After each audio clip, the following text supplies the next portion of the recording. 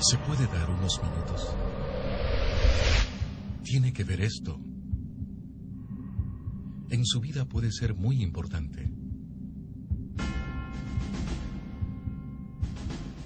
Tómelo como una advertencia y reflexione un momento en lo que verá a continuación.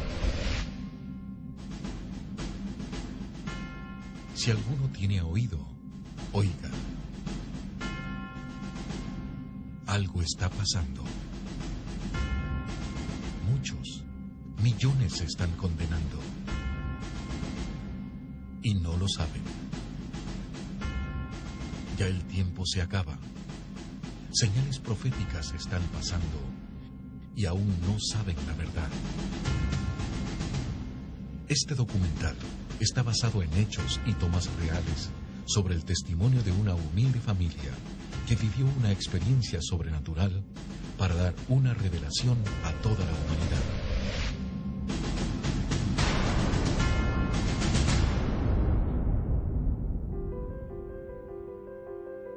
El Empalme, provincia del Guayas, Ecuador.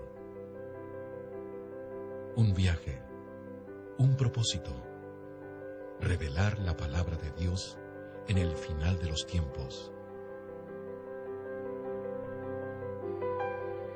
Muchos obstáculos y acontecimientos fueron antes de su grabación, pero el propósito de Dios ya estaba decretado.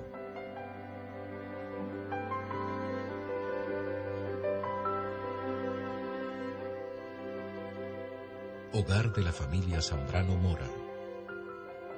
Ella es Angélica, una sencilla jovencita que fue usada por la gloria de Dios para revelar un mensaje a toda la humanidad.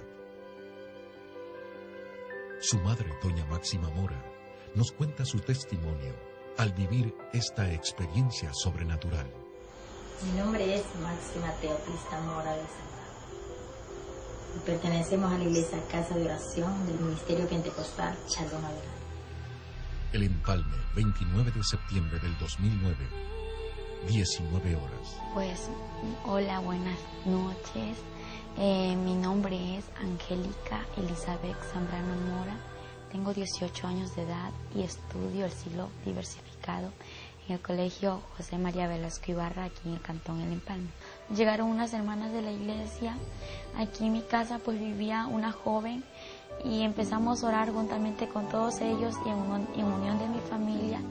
Y cuando estábamos orando, pues yo veía en lo sobrenatural, veía que el cielo se empezaba a abrir.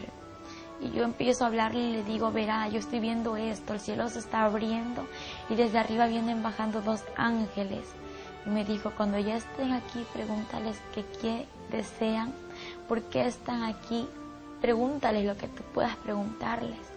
Entonces así fue, cuando ellos venían bajando, ellos se acercaron uno a mi costado derecho y el otro a mi costado izquierdo.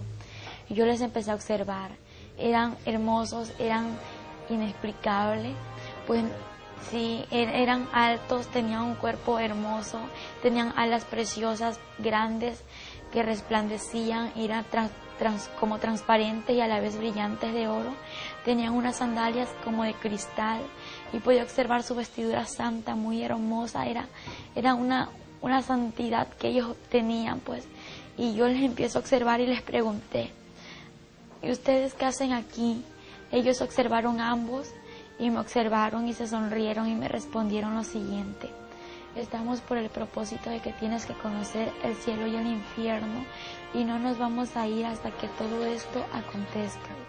Cuando el siervo entra, seguíamos orando, las hermanas estaban aquí afuera clamando, estábamos en el cuarto, estaba mi persona como madre y la otra hermana.